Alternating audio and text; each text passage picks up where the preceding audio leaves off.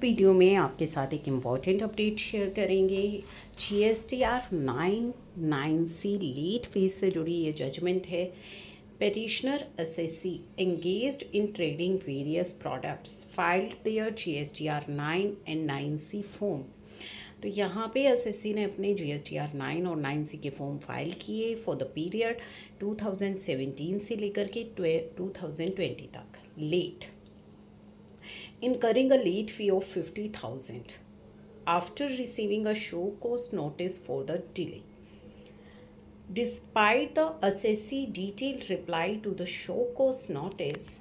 the revenue authority confirmed the demand for the late fees. तो यहाँ पे जो उसकी लीड फ़ीस थी उसके शोकोस नोटिस उसे रिसीव हुआ और उस जिसकी एसएससी ने रिप्लाई भी फ़ाइल कर दी स्टिल जो अथॉरिटी है उन्होंने डिमांड को कंफर्म किया under section 47 sub section two SSC ने रेफरेंस दिया एक नोटिफिकेशन का, जो नोटिफिकेशन नंबर सेवन आई थी मेंशनिंग एंड एमनेस्टी स्कीम उस नोटिफिकेशन में एमनेस्टी स्कीम जो है आई थी, जिसमें कि लेट फ़ीस को वेव किया गया था एक्सीडिंग टेन थाउज़ेंड यानी कि दस हज़ार से ऊपर जो भी आपकी लेट फ़ीस होगी, वो वेव हो जाएगी for non filer of G S T R nine returns यानी G S T R nine के लिए एमनेस्टी स्कीम आई थी, जिसमें कि कहा गया था कि आपकी जो भी पीरियड की seventeen eighteen to nineteen twenty की जो G S T R nine है, अगर वो फ़ाइल कर देते हैं, इस एमनेस्टी स्कीम में तो टेन थाउज़ेंड से ऊपर की जो लेट फ़ीस है, वो आपकी वेव ऑफ़ कर दी जाएगी।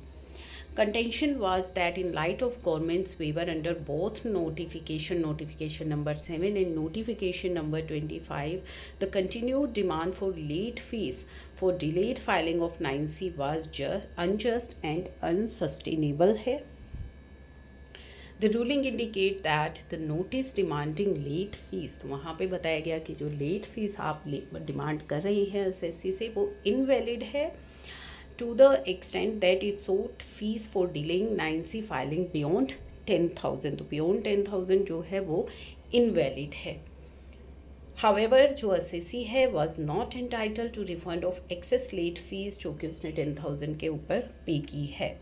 तो नोटिस को जो है क्वैश कर दिया गया